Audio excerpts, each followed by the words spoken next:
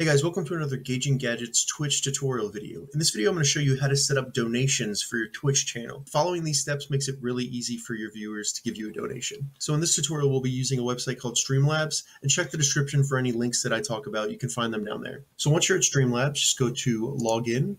And if you don't already have an account, you can create one with your Twitch account. You just have to go through the steps and authorize it within Twitch.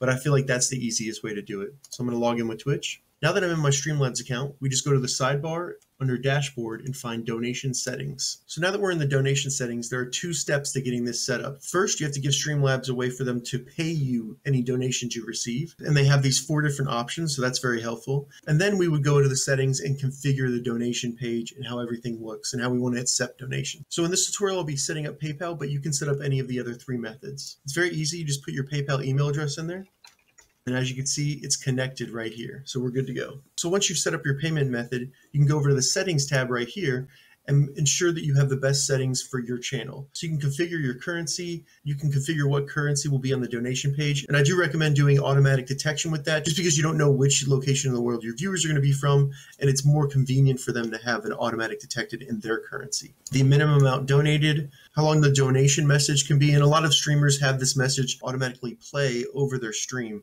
So that's something to think about when you set that limit. You can also have suggested donation amounts. So you can even configure the lingo for a donation can be a donation, a tip, or even a custom word. Anything you want to type in here, you can be like, I want a Bitcoin or something like that. And that'll be what it's called on your donation page. So as you can see here, now there's a link to your donation page.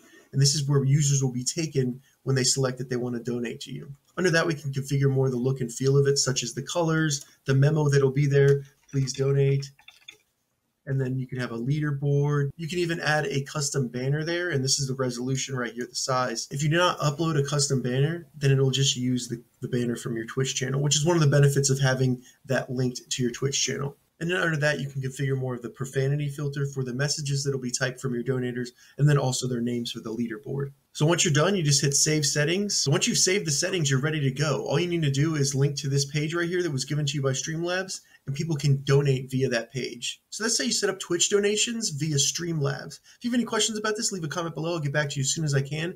If you'd like to see a more detailed write-up of this, check the description or my blog at gauginggadgets.com. If this video helped you, give it a thumbs up, and please consider subscribing to my channel, Gauging Gadgets, for more gadget reviews and tech tutorials. Thank you so much for watching.